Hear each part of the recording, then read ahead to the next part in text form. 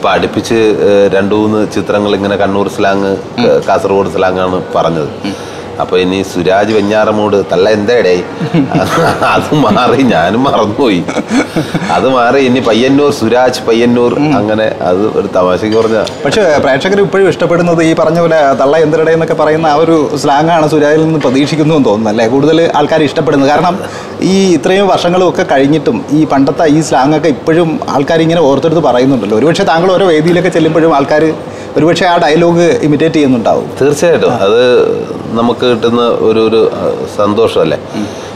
എനിക്കിപ്പോൾ തിരുവനന്തപുരം സ്ലാങ്ങിൽ അങ്ങനെ ഒരു പടം വന്നിട്ടില്ല. വരികയാണെങ്കിൽ ഞാൻ ഏറ്റവും കൂടുതൽ സന്തോഷിച്ചിരിക്കുകയാണ്. അത് വച്ചിട്ട് ഒരു വൻ പൊളി പൊളിക്കണമെന്ന്. പിന്നെ മമ്മൂക്ക അത് ഗംഭീരമായിട്ട് ചെയ്തു വച്ചേക്കല്ലേ? ഇനിയിപ്പോൾ ചെയ്യുമ്പോൾ വളരെ സൂക്ഷിച്ച് വേണം ചെയ്യാൻ.